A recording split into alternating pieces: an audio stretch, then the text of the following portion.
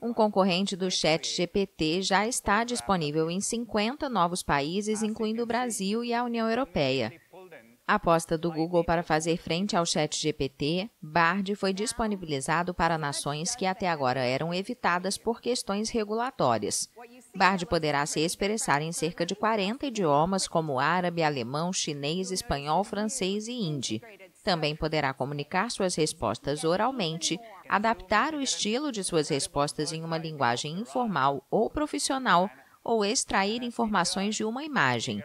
Os chatbots são apresentados como uma alternativa à pesquisa online tradicional e, desde novembro de 2022, tiveram um grande sucesso com o surgimento do ChatGPT, o principal software da OpenAI, financiado principalmente pela Microsoft.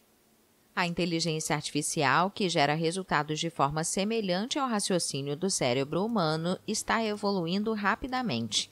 Os líderes da indústria divulgaram uma declaração no final de maio de que a inteligência artificial representa um risco de extinção real para a humanidade e deve ser prioridade global, ao lado de outros perigos para a sociedade, como pandemias ou guerra nuclear.